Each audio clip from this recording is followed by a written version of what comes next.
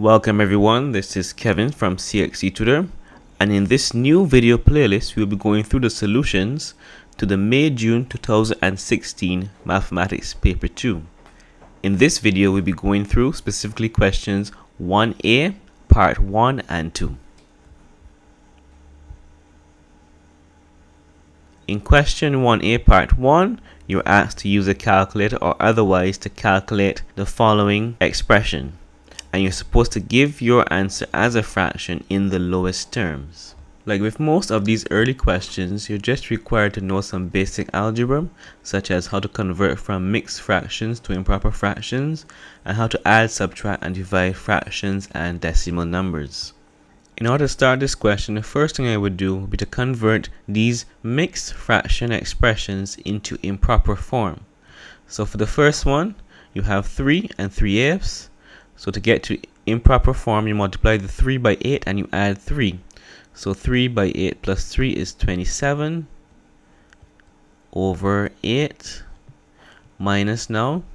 You have 2 and a quarter 2 times 4 plus 1 that should give me 9 over 4 and finally 1 and a half. 1 times 2 plus 1 that is 3 over 2. Alright, so now we have them in improper fraction form. We need to now work with the numerator and simplify that expression first. So let me put a bracket around it to show you. To do that, we should make both of these terms have common denominator. So I'm going to multiply that 9 by 2 and that 4 by 2. So my both of my denominators are 8. That would give me now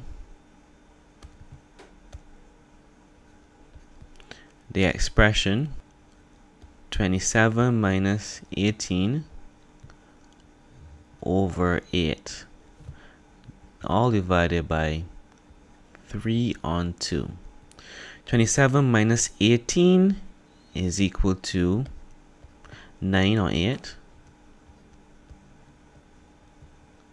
and we still have our 3 on 2. So when you have a fraction divided by another fraction, you can write this expression as 9 on 8 multiplied by the reciprocal of the dividing fraction, which is 2 on 3.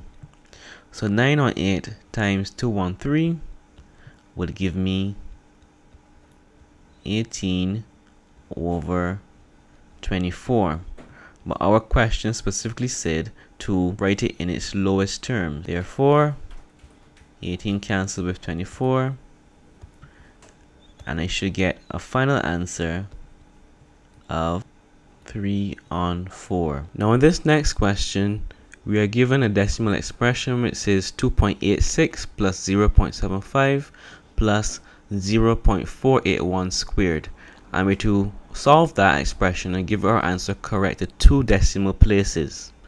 So firstly, you would take my calculator and you solve what is in the bracket first. So 2.86 plus 0.75 is equal to 3.61 and 0.481 all squared is equal to 0 two three one three six one.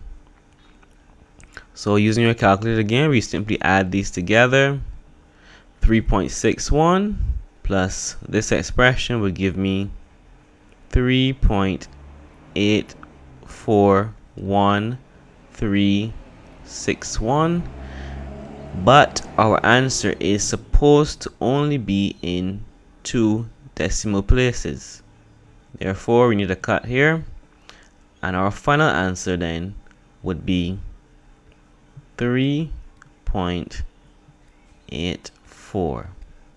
So there you have it. The calculator I used to solve this and the one I would recommend to all of my students is the Casio FX 911ES. Pretty sophisticated calculator. It can do everything except graphing and I believe it is a nice calculator to have to do these type of algebra questions. Now if you enjoyed this video, please feel free to like, share and comment. you can visit me at cxctutor.com and as always thank you for watching